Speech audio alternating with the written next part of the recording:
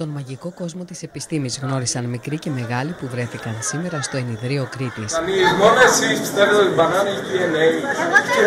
Η ομάδα του ScienceBehind.gr παρουσίασε μια διαδραστική έκθεση πειραμάτων με σκοπό να αναδείξει τη διασκεδαστική πλευρά της επιστήμης και να μοιήσει σε αυτή όλο τον κόσμο. Η εκδήλωση έχει διάφορα πειράματα, την εξήγησή τους. Έχουμε σκοπό να διασκεδάσει ο κόσμος να μάθει κάτι έστω και λίγο από παιδιά μέχρι μεγαλύτερους. Είναι ωραίο ρε παιδί μου να προσπαθείς να κάνεις τον κόσμο να του αρέσει η επιστήμη γιατί είναι κάτι το οποίο φαίνεται πολύ στεγνό πολλές φορές και είναι ωραίο να δείξεις την αστεία πλευρά της.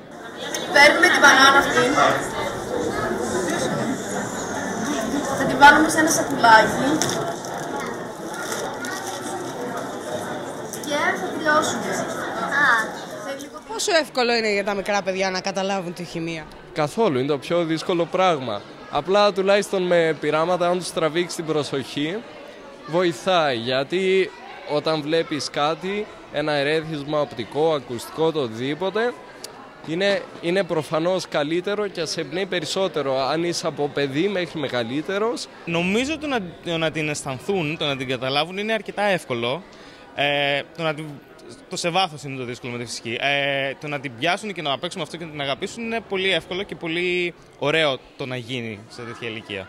Μέσα από το sciencebehind.gr οι συντάκτες, όλοι οι εκολαπτώμενοι επιστήμονες, προσπαθούν να εκλαϊκεύσουν την επιστήμη που άλλωστε είναι παντού στη ζωή μας. Αν το ψάξει κανείς, αν μπείτε στο site μας, μέσα από χημεία, φυσική βιολογία είναι και η ζωή μας. Ενώ τέτοια φαινόμενα υπάρχουν παντού στην καθημερινότητά μας ε, απλά είναι η περιέργεια που έχει κάποιος ή όχι για να μπει στη διαδικασία να τα εξηγήσει. Η επιστήμη εξελίσσεται πάρα πολύ γρήγορα, ραγδαία και πάρα πολλοί τομείς ε, και, και δεν συνδέονται μεταξύ τους και δεν μεταφέρονται στην κοινωνία κάπως. Και αυτό πρέπει να φτιαχτεί. Και είναι σκοπός είναι να μεταδοθεί η γνώση με έναν τρόπο κατανοητό από όλους. Απότερο στόχος των διοργανωτών ήταν να συλλεχθούν τρόφιμα μακράς διάρκειας και παιχνίδια για συνανθρώπους μας που τα έχουν ανάγκη. Υπάρχει είσοδος, σκοπός να μαζέψουμε τρόφιμα και παιχνίδια. Για την ομάδα Αλληλεγγύη ισχύει την αποστολή.